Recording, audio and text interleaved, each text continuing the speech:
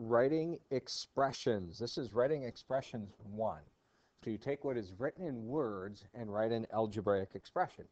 The product, product means multiplying of 2 and a number x.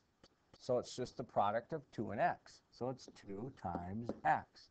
Now in Khan, you're going to show that as just 2x because when a number is next to a letter with nothing between them, it's understood to be multiplying. Sum is add. The sum of 3 and twice a number x, that's 2x. Twice a number x.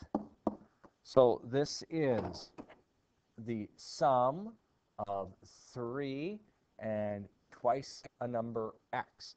Now in Khan, uh, you might have to rewrite this one as, you probably get away with writing it as 3 plus 2x, or you could write it as 2x plus 3.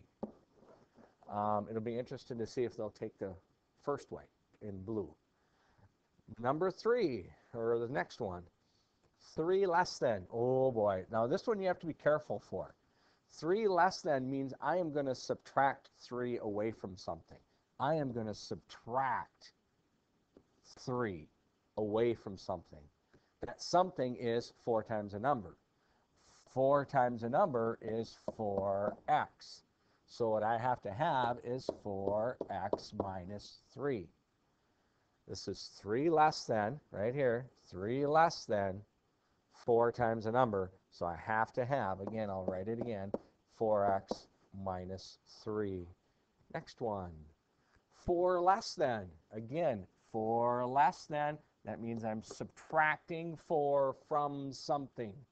Twice the number x, so that is just 2x, and then minus 4. 4 minus a number x. Minus is subtract. So that is the same as 4 minus subtract x. 4 minus x.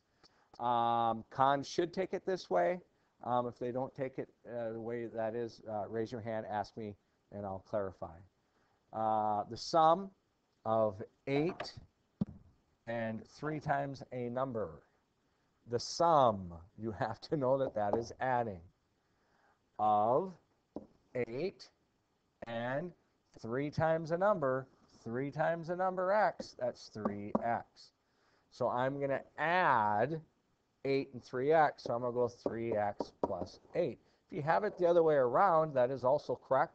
Hopefully, Khan accepts it that way. 10 minus a number x. Minus is subtracting, so that is 10 minus a number x. The product, oh boy, product. Now, I don't cover all of the different terms, okay? But product means multiply, okay? So it's the product of 4 and the number x. That just means 4x. It's the product I'm multiplying 4 times x.